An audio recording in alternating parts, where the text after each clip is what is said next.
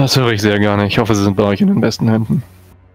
Äh, nun, was ist denn der Plan? Hm, wollen wir uns sie uns heute noch ansehen? Und erst einmal wollten wir in diese, diese Villa, nicht wahr? Genau. Ich denke, wenn wir dort sind, äh, werde ich jemanden schicken, dass er Shabanu äh, Bescheid sagt. Er soll, sie, mh, mm, er soll sie ein wenig in die Nähe der Stadt treiben, damit wir keinen so weiten Weg haben. Das klingt sehr vernünftig. Äh, diese, diese, diese Stadtvilla mit dem Bier, äh, wie weit ist sie denn genau entfernt? Mhm. Oh, nicht weit. Ähm, ah, dort, leben, dort leben die ganzen Geweihten. Insofern äh, war das sinnvoll, ein Haus in der Nähe des Tempels zu errichten. Oh, gut mitgedacht. Ja, das ist eine sehr gute Idee. Ich nehme an, dort kann man auch adäquat einen Bären unterbringen, so wie in jedem guten Tempel. Wir haben Boxen für Pferde, aber ich denke, wir wollen Mira nicht einsperren. Vielleicht no, nein, die Hof? kann bei mir im Zimmer schlafen. Das macht sie immer. Ich denke vor allem, dass ein solcher Bär die Pferde wohl unruhig machen würde. Ja, ich fürchte auch, aber wir haben meistens keine Pferde dort stehen wir wollen sie nicht so einengen. Es ist eher so, hm, wenn man mal über Nacht ein Tier einstellen muss, wenn man es am Morgen gleich braucht oder so. Oh. Ja, dann lauf doch mal voraus. Wir laufen nur hinterher. Ich finde dieser Scheißstadt überhaupt nichts. Ja, wir hatten tatsächlich wirklich einige Probleme, diese Brücke zu finden, weil Abelmir einfach weggelaufen ist.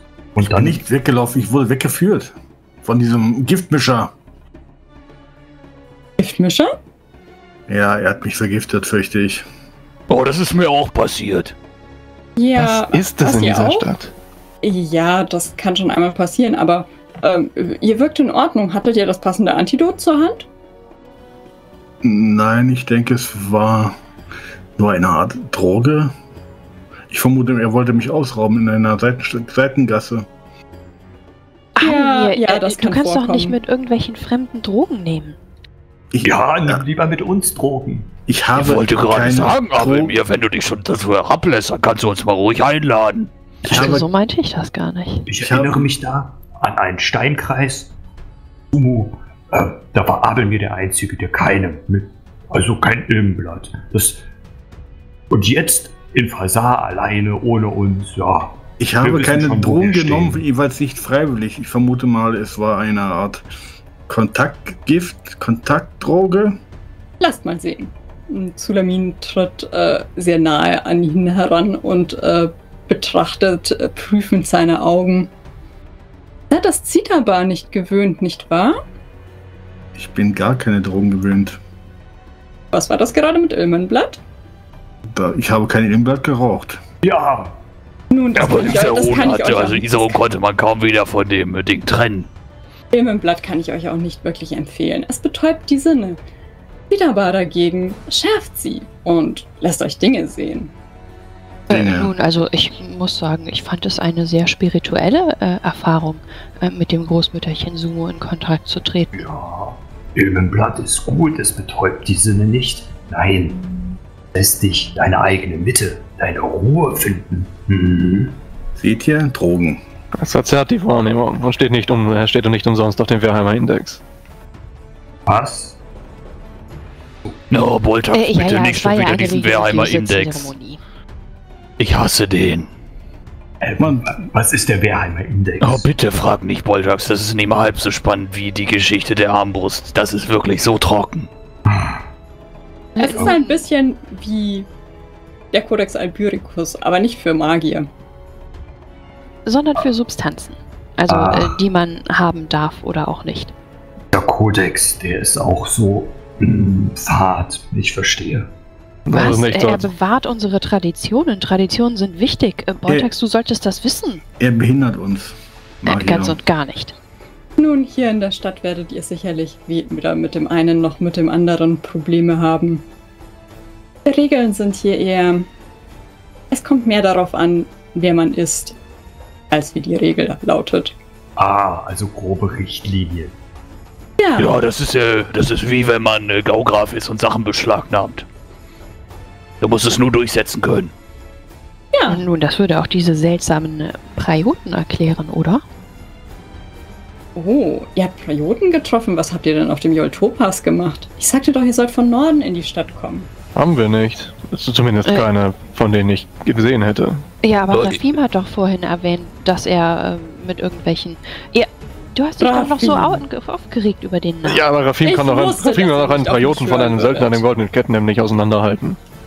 Also der eine ist unter den Bären gefallen und da ist Mira draufgetreten. Die anderen beiden haben nur eins mit dem Schlag hingekriegt.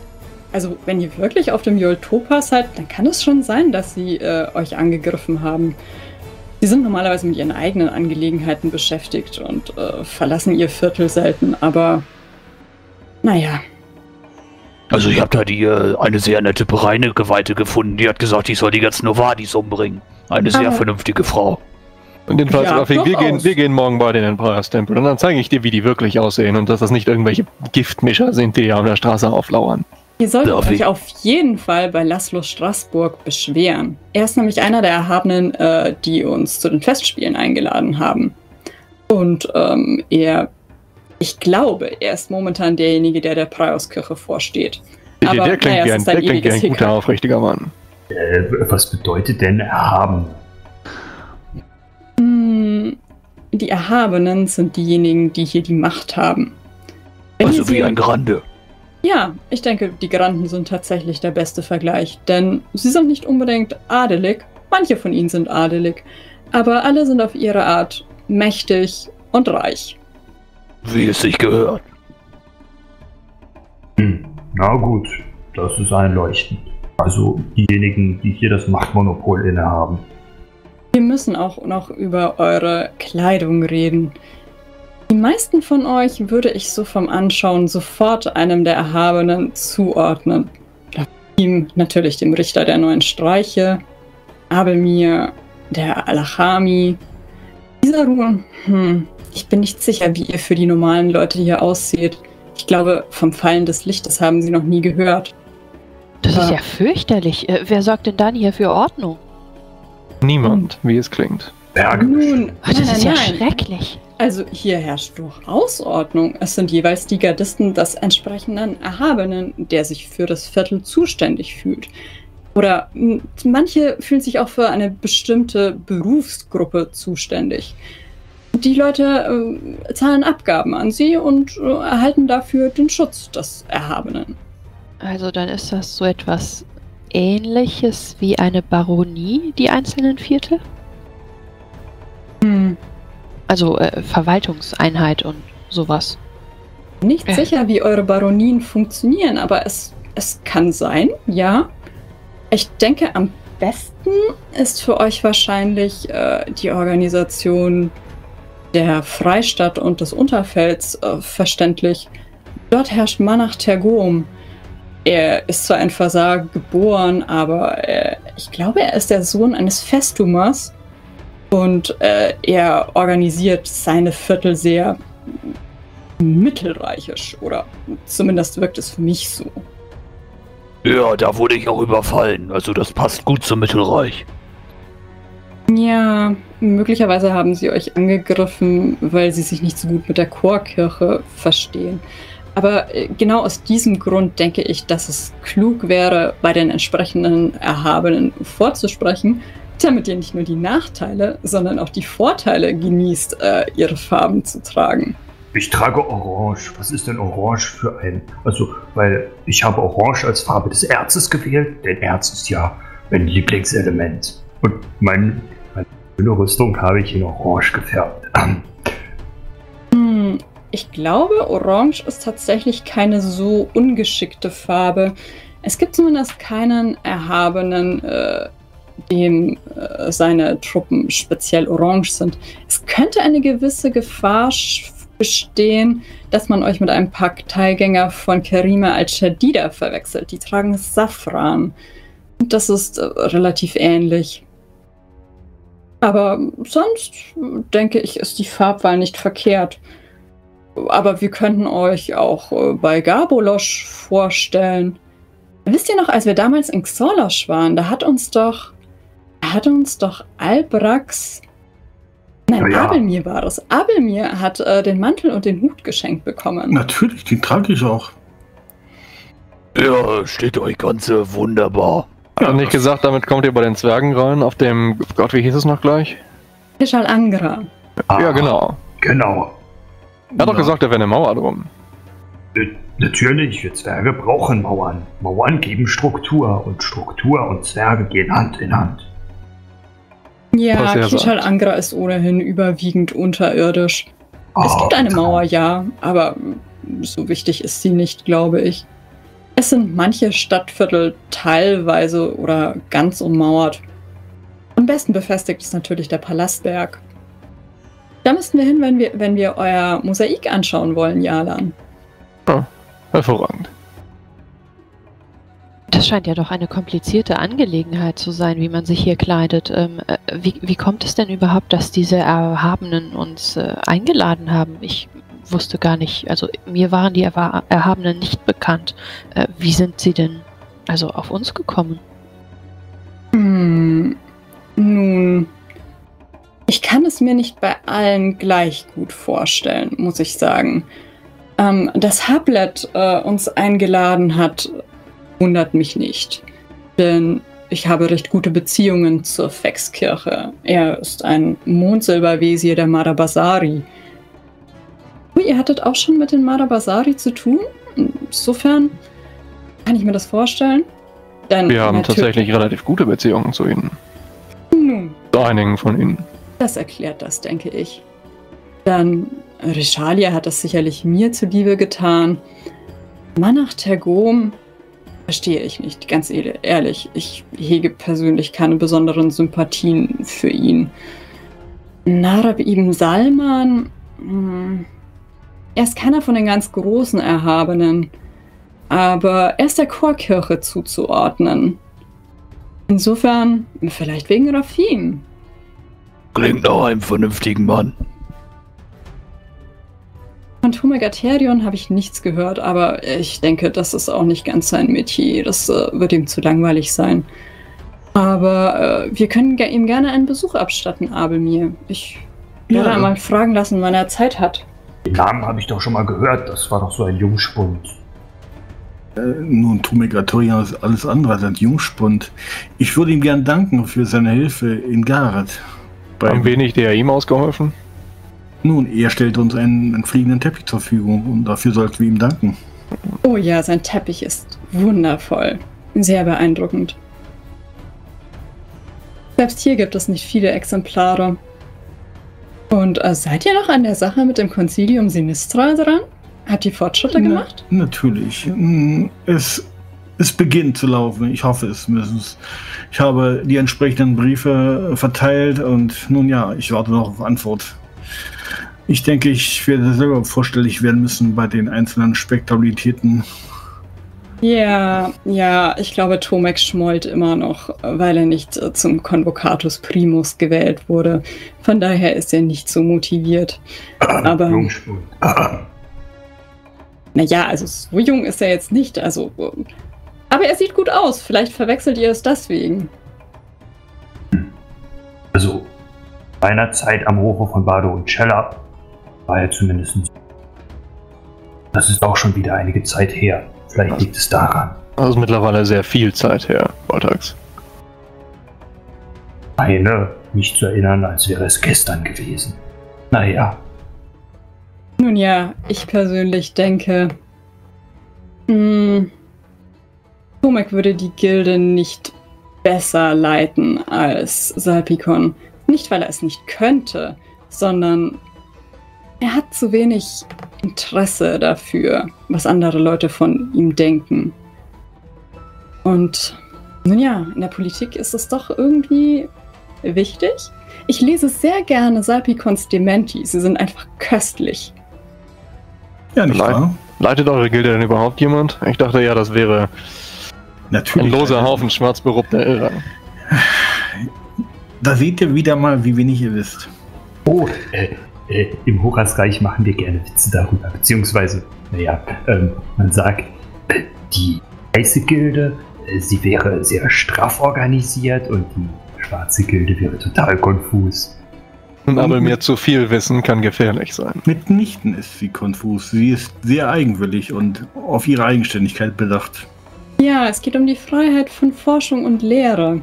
Und In Tat. nun ja, die einzelnen Schulen wollen sich da nicht hineinreden lassen. Eigentlich nicht einmal die einzelnen Lehrmeister.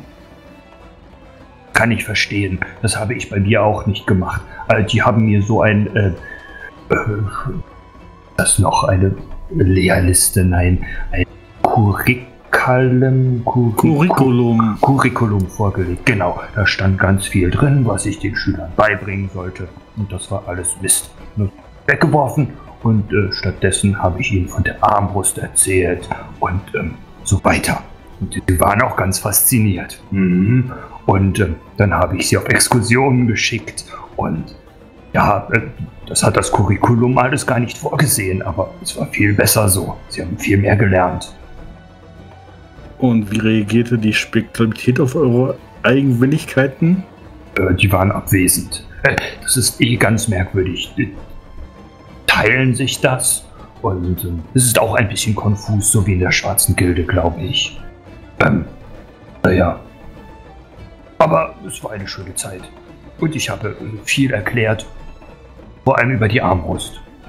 Oh ja, ich kann es mir vorstellen, wie die, wie die Eleven darauf reagiert haben. Oh, sie haben mich geliebt. Sie haben mir lustige kleine Spitznamen gegeben und ähm, manche haben sich, äh, ist ja auch egal.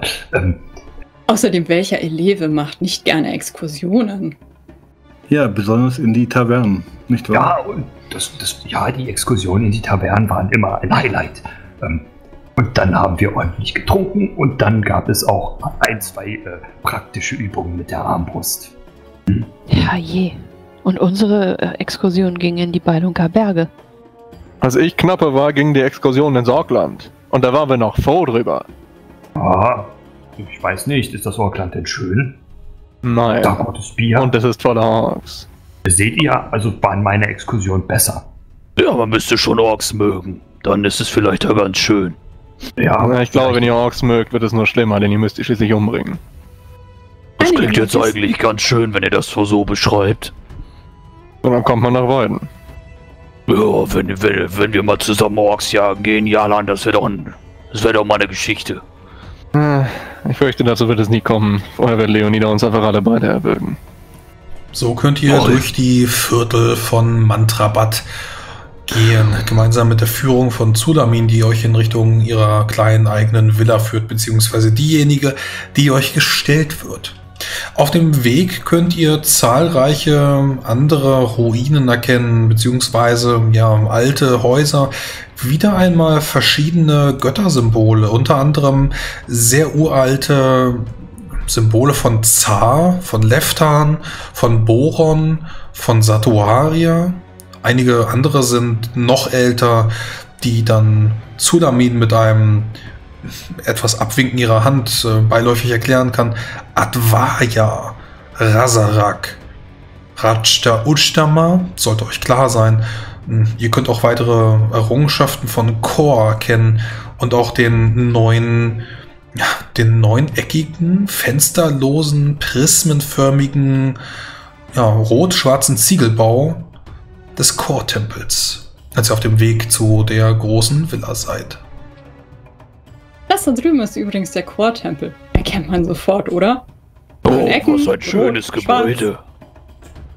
Nun, nach, unser, nach all unseren Reisen habe ich einen Moment lang überlegt, ob es ein Barbara-Tempel wäre.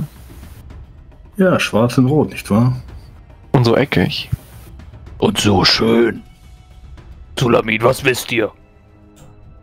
Über den Tempel? Ja, ähm, natürlich. Nun, dort residiert der Richter der neuen Streiche. Ich kenne ihn nicht persönlich, denn der Richter wechselt häufig. Denn ja, stimmt den... halt, ne? Ja. Und er zeigt sein Gesicht nie. Es war auch gelegentlich schon eine Frau. Den Unterschied bemerkt man manchmal. Aber hm, nun, erst der Tempel ist schlicht gehalten. Hm, aber ein sehr schöner Baustil. Oh, und wenn wir hingehen solltet, äh, solltet ihr mit Mira aufpassen. Sie haben einen Panther dort. Ich weiß nicht, wie die beiden aufeinander reagieren. Oh, das wäre nicht gut.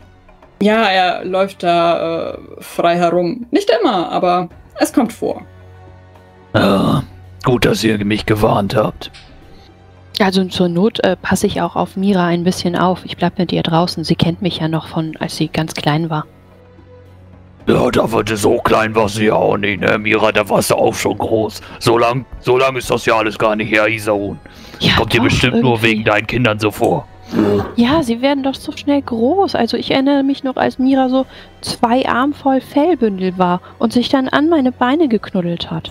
Ja, und jetzt ist sie größer als du.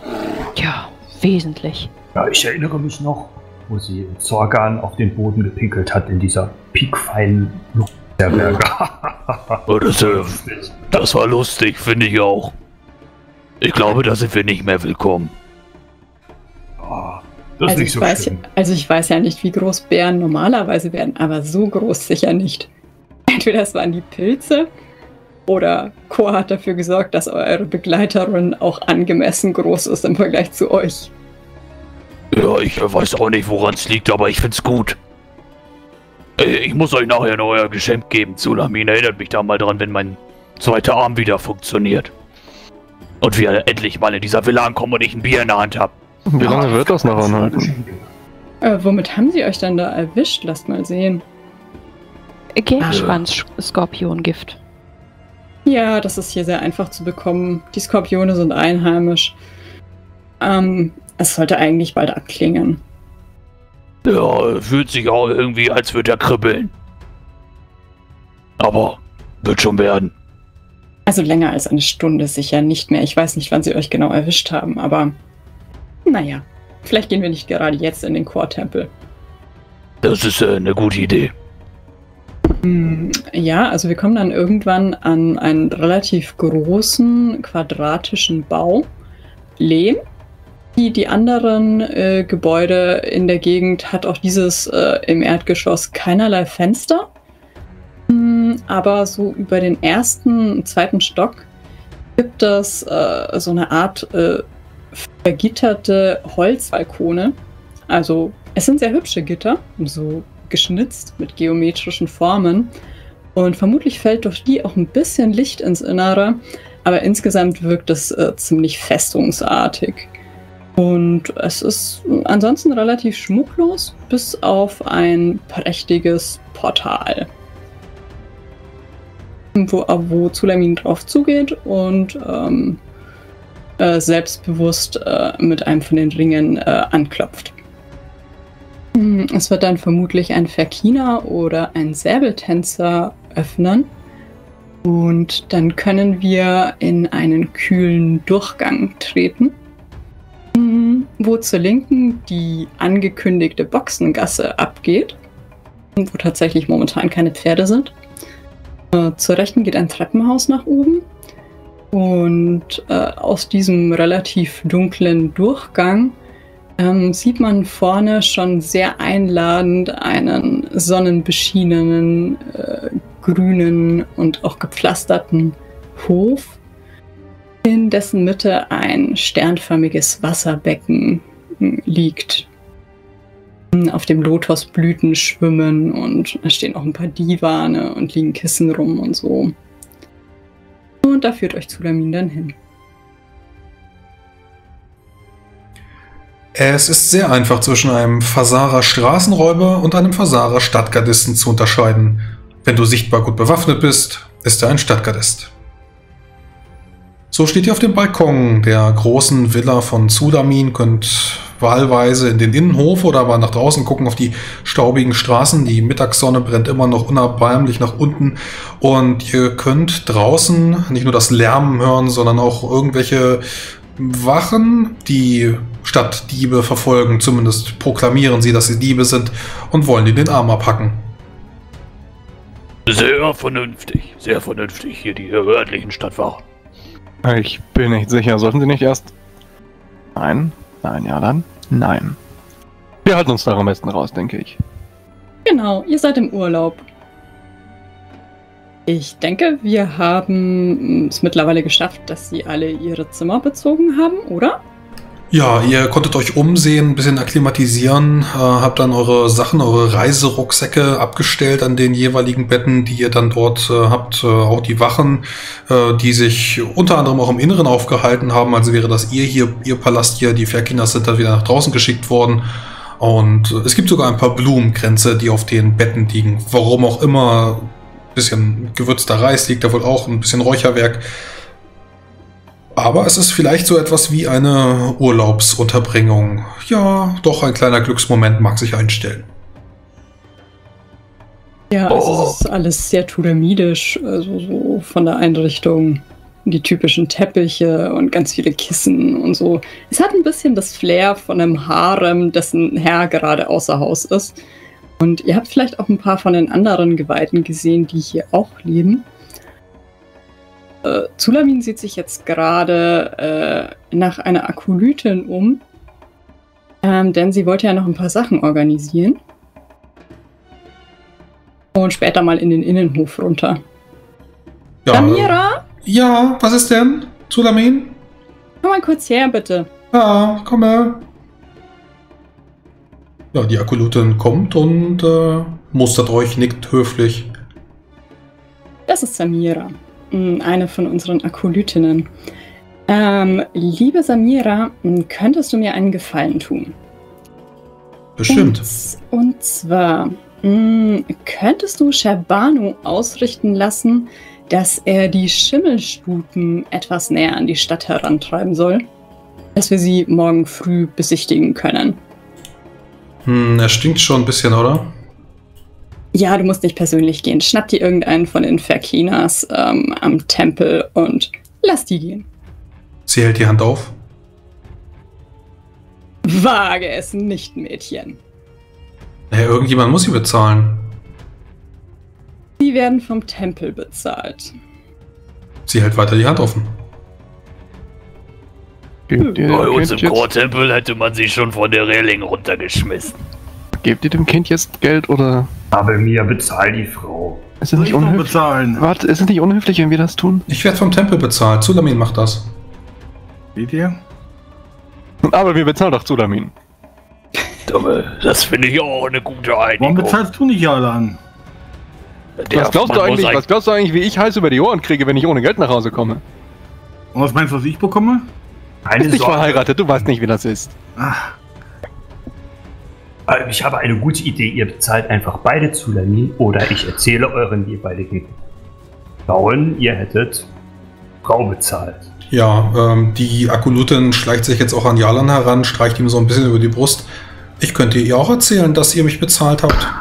Ihr solltet mir lieber Geld geben. Ich soll euch also Geld geben, damit ihr niemandem erzählt. Ich hätte euch Geld gegeben. Genau. Samira, benimm dich. Und ich möchte sie einschüchtern. Okay, über Redenprobe. was man dir sagt. Ja, über Redenprobe. Ist das eine seltsame Versara-Sitte? Bei uns zu Hause hätte man jemanden schon längst dafür grün und blau, grün und blau gehauen. Ich nehme an, das macht man in Versar ähnlich. Man weiß nicht. Ja, okay. Sie verdreht die Augen. ähm, Noch Fragen, Samira? Ne, irgendwie muss ich denen ihr Backschisch geben und die werden ohne Geld nichts tun. Das weißt du, weißt du genau, Zulamin. Dann streng dich an. Ja, ja, du mich auch. Und damit geht sie.